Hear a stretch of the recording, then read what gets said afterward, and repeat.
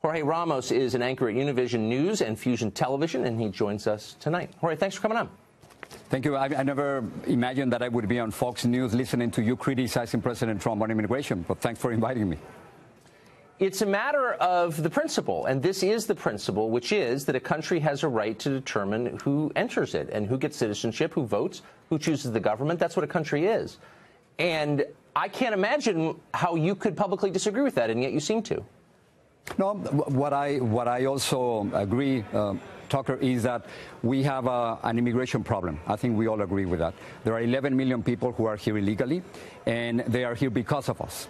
Um, they are harvesting the food that we eat. They're building our homes. They're taking care of our kids. And we have to find a solution. And President Trump, surprisingly, I don't trust him, I don't believe him, but surprisingly in this meeting, he said he wants comprehensive immigration reform. You and I remember since year 2000 that whenever we say comprehensive immigration reform, that means legalizing 11 million people in this country.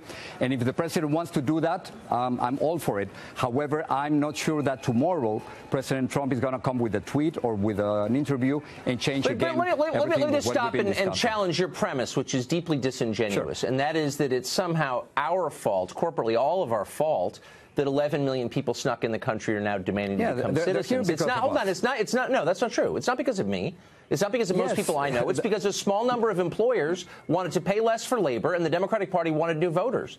I didn't do that, and there's no they're, reason they're that I should have to live under a government controlled by people who came here illegally. Why should I? They're here. They're here because of you and me. It's simply a matter of supply and demand. They're here simply because there are jobs for them, and also we have to admit, uh, because in Latin America they make maybe five dollars a day and they can make that exact amount of money here in just a few hours. But we are responsible for them. And so then, we're um, responsible. Um, so in other words, so because this is a successful I, country, you and I are responsible.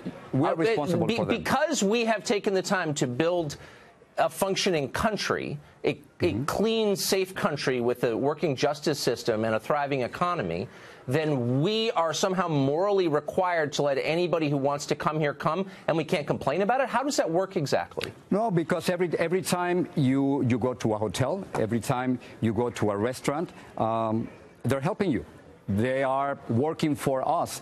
Um, the National no, they're Academy not working for me. They're working for companies that want to pay less. That's why they hire them, and the probably, owners of those companies make a lot of money, probably. and we get to pay higher taxes in order to support them living here.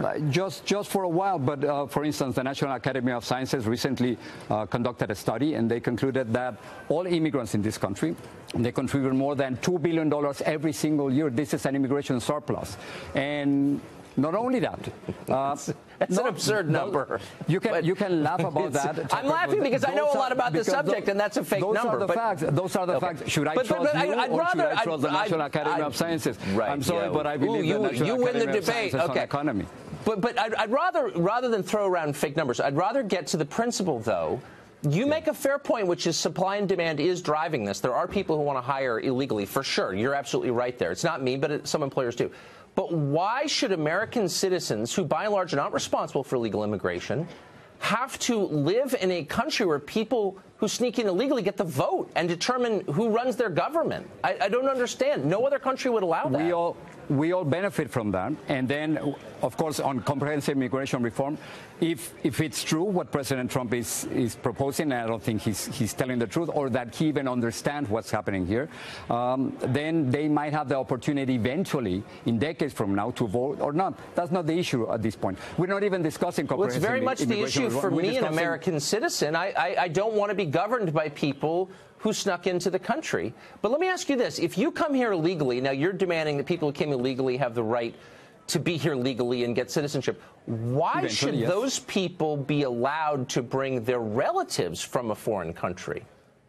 Where does so that you're right talking about chain from? migration. Now everybody's that using the term chain migration. Well, yeah, it's the majority migration. of immigration is chain well, migration, actually, so it's not a small actually thing. It's, it's called actually it's called family reunification. You call it whatever you, you want. It's the same thing. Do you enjoy Do you enjoy spending time with your family, Tucker? well, look, I'm not going to pretend. Look, I'm, I'm not. I'm this sure is too do, serious right? a matter to participate in in, well, in theoretical. Let, let me just ask you: Why, if you sneak into this say, country, should you have a right to bring your relatives? Let's, let's just work? say that. Let's just say that you do. Well, immigrants do too.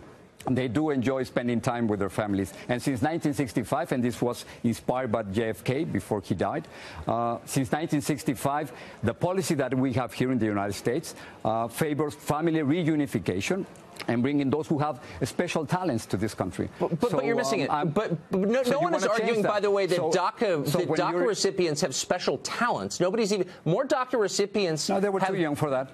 Okay, they, they, okay. they were too young for that. But, so, but that's not relevant my, here. Let, but I'm just saying, just I know it's the, the policy. Why should it continue to be the policy? That's that's the question. Why is it no, a wise policy?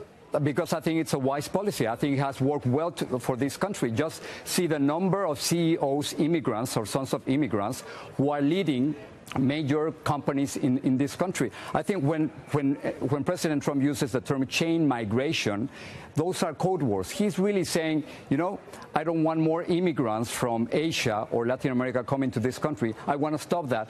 And what, okay. I want to make America okay. white again. What, you, those, what, what you're doing is throwing, is, no, no, no. Yeah, be, because what you're doing, rather than engage in an adult argument, using reason, you're accusing people you disagree with of bigotry, which is a little much, actually, considering well, that you're demanding that is. Americans who were born here let in people who snuck in illegally and all their family, and if they say anything about it, they're racist. Like, let me, let me just you know, say that chain I, migration. I get the game, actually, and I'm chain sick migration, of it or family reunification. Doesn't matter. That's the the, law of the, the same. That, that's the law of the land. Not, How would you feel if the United States exported the, the, the poorest 10% of its country. population to Mexico? exported the poorest 10% of its population to Mexico, completely changed the mix of Mexico, the politics of Mexico, and undercut the wages of Mexican citizens. And then if anyone complained about it, said, well, you're just a racist. Would you think that was kind of a stick up? I I understand what's happening in Mexico, and it's terrible what's happening in Mexico. I, I cannot defend, and I do not defend what's happening in Mexico. Absolutely not. Is that is okay. that was was that your question? no, that's not the question. But we're out of time, sadly. But I know that we will meet again. All right, thank you for thank joining you. us.